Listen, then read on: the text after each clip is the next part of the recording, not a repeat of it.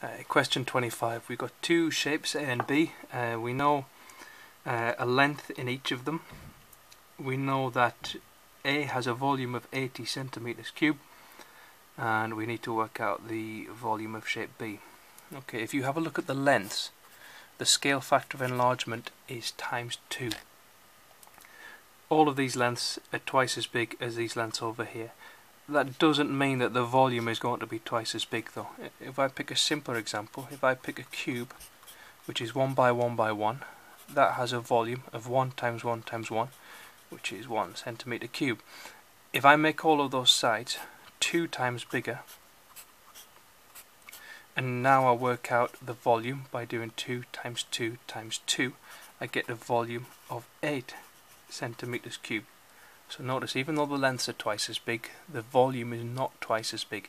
The volume is actually 2 cubed times as big. And the reason that's the case is because you're working out the volume of this one and then the volume of the larger one. Well, compare each of these components with the smaller one. This is twice as big, this is twice as big, and this is twice as big. So that's why altogether the answer for this is 8 times as big. So therefore, applying that over here, um, the scale factor of enlargement of length is 2. The volume is going to be 2 cubed times bigger. 80 times 8 is 640 centimeters cubed. Part B, uh, same kind of idea but this time with area. Let's take a small square which is 1 by 1.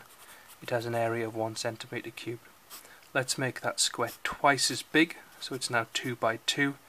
That has an area of 4 centimetre squared.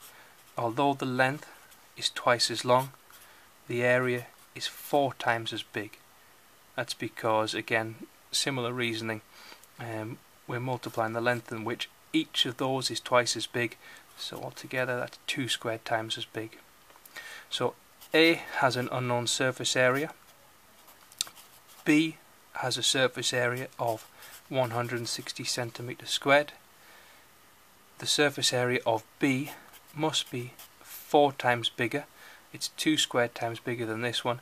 What value is 4 times what value do we increase by a factor of 4 to get 160 the answer is 40 centimeters squared.